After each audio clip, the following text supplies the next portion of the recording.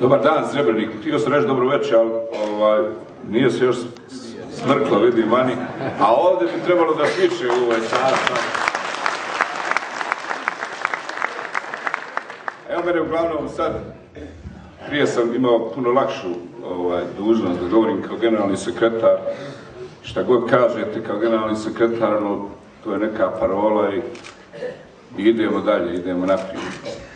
A danas moram govoriti malo i o ovoj funkciji o kojoj puno, jako puno govore i meni je zaista zadovoljstvo kad čujem ovako fine riječi. Mi smo prije 18 mjeseci, prije 18 mjeseci smo krenuli u realizaciju svojih predizbornih obećanja, a sjetit ćete se da smo i tada imali jedan predizborni skup na kome smo otprilike vrijeme ne dozvoljava puno da govorimo, ali ću proći nešto po sjećanju šta smo govorili tada kad smo bili ovdje.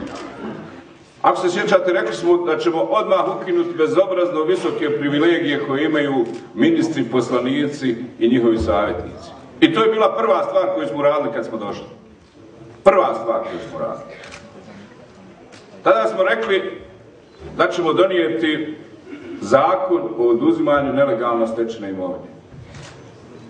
I donijeli, usvojili ga na vladi, usvojili ga kod Envera u predstavničkom domu, još čeka da se usvoji u Domu naroda, pa da i tu krenemo sa ovom pričom. Neće tako, neće tako, neće. Rekli smo kako ćemo napraviti javne radove i investicije u Federaciji Bosne i Hercegovine. U sljedećoj godini kreće investicija vrijedna više od milijardu i 200 miliona konvertibilnih maraka termoblok Tuzla. Hidrocentrala Vranduk. A već u ovoj godini, već u ovoj godini gradi se više autoceste u federaciji nego što su sve prethodne vlade zajedno napravile.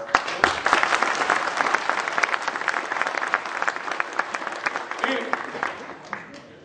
tu nastaje kuršus na svemu ovome. Dobro ste rekli, od zakona o oduzimanju nelegalno stečene imovine, pa od zakona kojim smo htjeli da, da uvedemo reda u policiji, da i policija odgovara nekome, pa onda krenuli autoceste, brzo se prave investicije. I onda ovi naši partneri kažu, znate šta, dobro je da stvari idu naprijed, ali nije dobro da idu tako brzo. Oni su, znate, navikli da prave nekoliko stotina metara autoceste godišnje, pa sad kad napravite i kad hoćete da napravite 50 km za tri godine, to je njima puno. E zato smo odlučili da njih pošaljemo u opoziciju, pa neka im se brate u opoziciji, tamo ne svita kako mi to ovdje radimo i šta radimo. E kako ćemo dalje? Nismo završili i nećemo ništa završiti kad budemo imali samo ovaj zakon o oduzimanju nelegalno stečene imovine. Jer taj zakon neko treba da primjenjuje.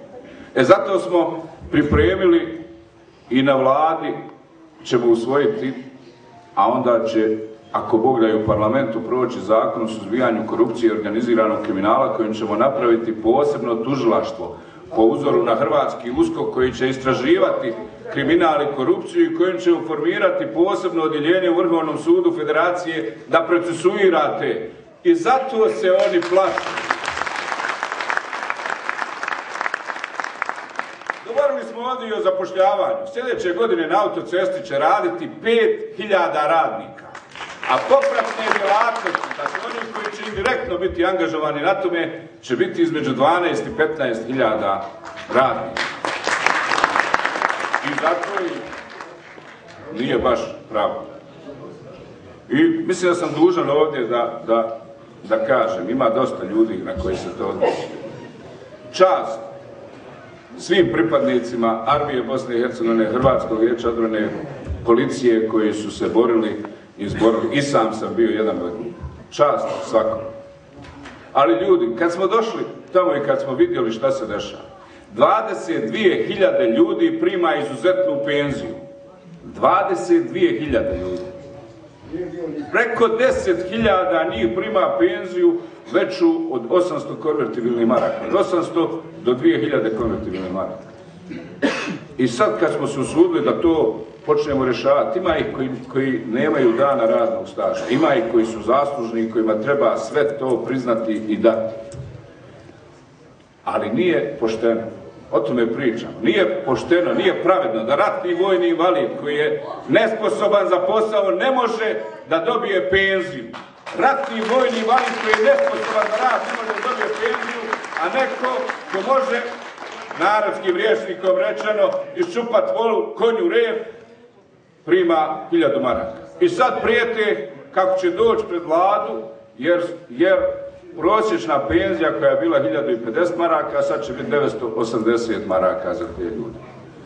E pa, mi nećemo dopustiti, mi nećemo dopustiti bilo kakvom ucjenom da ugrozimo redovne penzije ljudi koji su radili 40 godina časno i pošteno, a primaju 300 maraka.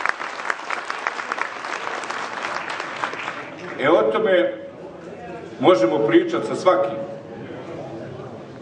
Drugarice i drugovi, treba biti korektan ovdje.